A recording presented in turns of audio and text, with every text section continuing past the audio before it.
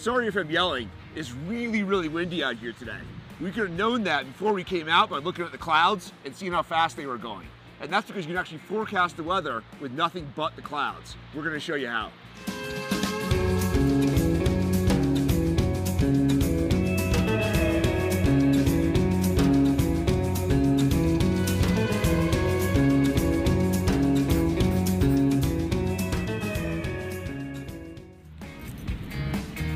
Oh, you got a deer leg.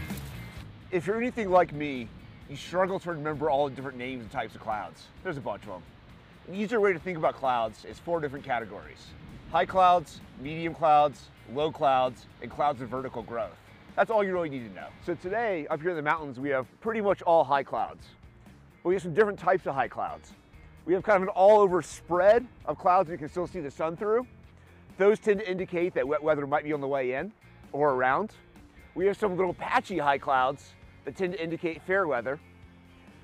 What we also have are some really high clouds with really long tails on them, as if the wind is really blowing those clouds away. And those indicate high winds, which we do have.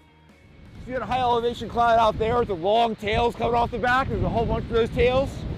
That shows us that there's gonna be high winds, which we don't really need clouds for today. Next up, we have middle elevation clouds. Those are clouds from like 4,000 to 6,000 feet in elevation. That doesn't mean anything to you. Clouds that aren't high, clouds that aren't low. They tend to be dark and they bring weather. So you know weather's inbound if you have nice, dark, mid-elevation clouds moving in. You've got rain coming in, you got snow coming in. Next, we have low elevation clouds. There's two types of low elevation clouds. Light, fluffy ones and dark, constant, widespread ones.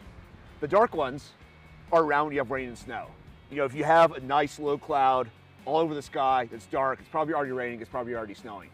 But if you have low elevation clouds that are spread out and fluffy, like in a painting, those, those indicate good weather. If you have nice, fluffy, white, low elevation clouds, it's gonna be a nice day. Lastly, you have clouds of vertical growth. And that means clouds that start low and go way up to high elevation. And if those are nice, big, happy, white, fluffy clouds, weather's gonna be nice. If those are big, dark, angry, anvil-shaped clouds, that means thunderstorms are coming in. Watch the clouds, watch their movement. If they're growing and coming towards you, you need to seek shelter, there's a storm inbound. And that's clouds. It's really simple, just keep an eye on them as you're here in the backcountry when you're away from your cell phone and don't have a weather forecast. That way you just, you just know it's gonna go on that same day, the next day, that night. A little more of a heads up than you might have otherwise. Really simple.